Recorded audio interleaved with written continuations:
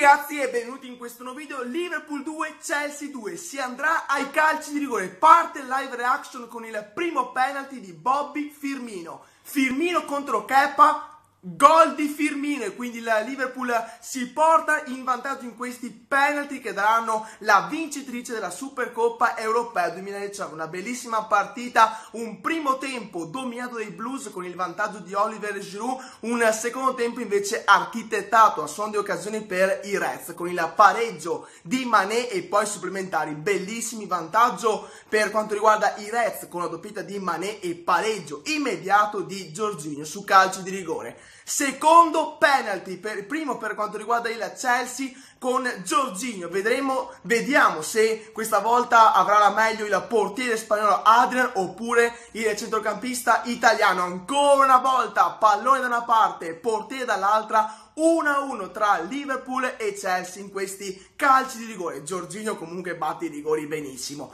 Palla da una parte, portiere dall'altra per due volte nella stessa partita. Bravissimo, ancora una volta con il suo movimento che viene stoppato da una finta e proprio in quell'occasione il portiere si, mm, si butta dalla, dalla, parte sbagliata e Giorginio lo beffa. Secondo rigore, terzo complessivo, va Fabinho, un altro specialista mi verrebbe da dire perché lui li batteva nei tempi della Monaco. Vediamo e invece in questa occasione rigore pesantissimo perché vale la Supercoppa europea. A parte Fabinho, che rigore ragazzi, ancora una volta perfetto. Kepa rimane immobile e Fabinho riporta in vantaggio i Reds 2 a 1 in questa finale di Istanbul. Dopo ne parleremo però, veramente una, una bellissima partita. Ce lo aspettavamo, derby inglese dalle mille emozioni, un primo tempo dominato dai Blues, seconda invece, diciamo il secondo tempo invece ci sono state tante occasioni per i Reds, ma anche una bella reazione per quanto riguarda la squadra di Frank Lampard.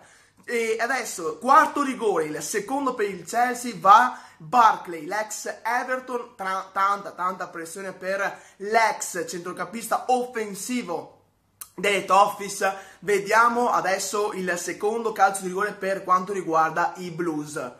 Gran rigore, 2 a 2, questa volta Adrian aveva intuito, ma era un rigore perfetto, proprio nell'angolino giusto, 2 a 2, quindi ancora una volta perfetta parità in questo derby inglese. Secondo il mio punto di vista i Blues hanno giocato meglio, l'episodio del calcio di rigore mi piacerebbe rivederlo ancora una volta, però comunque era un, un, episodio abbastanza difficile da decretare. Stefani non ha avuto dubbi, ha decretato subito il calcio di rigore. Va Divock Origi, quindi terzo rigore, il quinto in questa finale di Supercoppa. Divock Origi è entrato nella ripresa al posto del, eh, del bomber Mané. Vediamo Origi, grande pressione sull'attaccante belga perché questo può essere un rigore decisivo. C'è il gol di Origi, ma Kepa aveva toccato, non è riuscito a togliere il pallone dalla, dalla porta, 3 a 2 Reds. Ragazzi che rigore, tirato abbastanza male mi verrebbe da dire perché Kepa c'era arrivato, ma alla fine è gol, è passato sotto, sotto, ehm, sotto le, le, braccia, peccato, peccato c'era, arrivato, eh, c'era arrivato Kepa, Origi festeggia 3 a 2 Liverpool e adesso nel, dagli 11 metri, mm, se non sbaglio, ci va Mount, ci va Mount, l'ex Derby County, vediamo, tanta pressione per questo ragazzo, classe 99, che rigore, che rigore, sotto il 7, c'era, aveva ancora una volta intuito Adrian, ma questa volta siamo 3 a 3, rigore perfetto, tutti i rigori perfetti, tranne quello di Origi che poteva comunque tirarlo molto meglio, 3 a 3, quindi ne mancano ancora 4, 2 per parte e c'è tanta pressione in questa finale, veramente che eh, speriamo non finisca mai, veramente una bellissima partita. Adesso vediamo, se non sbaglio è Alexander Arnold che va a tirare questo quarto rigore per quanto riguarda il Liverpool, ancora perfetta parità, 5 a 5 totale, 3 a 3 in questi calci di rigore. Alexander Arnold confermato, quindi questo quarto rigore, vediamo perché comunque è importantissimo adesso. Questi ultimi quattro rigori decideranno la, la Supercoppa europea. Parte Alexander Arnold, rigore importantissimo, ma ragazzi li stanno battendo benissimo. 4 a 3 Liverpool, perfetto anche questo.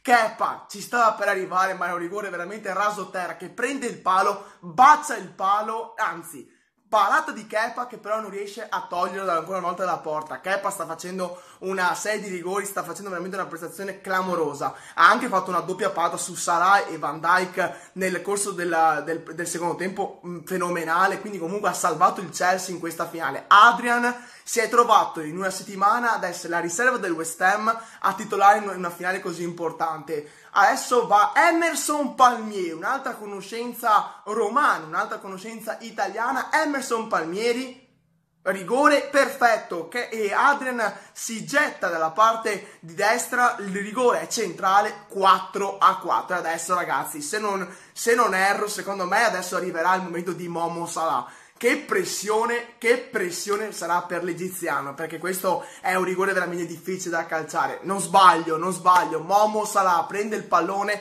lo sta per posizionare e ragazzi, quinto calcio di rigore. Secondo me lo sbaglia ho questo presentimento, secondo me lo sbaglia. È un rigore veramente importante. Dopo toccherà al Chelsea replicare, quindi il Liverpool ha un piccolo vantaggio. Però io ho questa sensazione che Momo Salah sbaglia, classica rincorsa. Non sbaglia, non sbaglia Momo Salah. 5 rigori, 5 gol per Liverpool e adesso ragazzi, tutta la pressione di questo mondo è sul, sui piedi del Chelsea e forse anche sulla parata la, diciamo, la, la, la, pressione sul Chelsea, però la grande comunque responsabilità anche per Adrian che può regalare la quarta Supercoppa europea al Liverpool con una parata.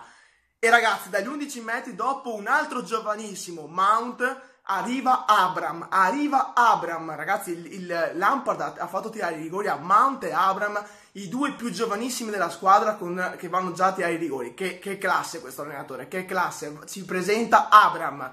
Vediamo, rigore decisivo, se segna si va avanti, si va ad oltranza, se sbaglia la Supercoppa è del Liverpool. Parata di Adrian, di Adrian, ragazzi, incredibile. Il Liverpool ha vinto la Supercoppa europea 5 a 4 dei calci di rigore. Festeggia Klopp che dopo la Champions League, dopo aver perso la Community Shield ai calci di rigore, vince la Supercoppa europea ai calci di rigore. Giusto così mi verrebbe da dire, invece peccato per questo Chelsea che dopo aver perso 4-0 l'esordio in campionato contro il Manchester United domenica, però immediatamente rispetto a quello che aveva fatto vedere in campo, perde questa finale di Supercoppa ai calci di rigore. Una bella prestazione nel primo tempo. Parliamo un po' della parità. Il Liverpool ha vinto, però veramente i Blues hanno giocato molto molto bene, mi verrebbe da dire. Grande occasione anche per Abram nella ripresa, ha sfiorato il gol che avrebbe dato al Chelsea il nuovo vantaggio per 3 a 2 Peccato, peccato perché nel, nel, primo tempo non c'è stata assolutamente partita. I Blues hanno dominato con,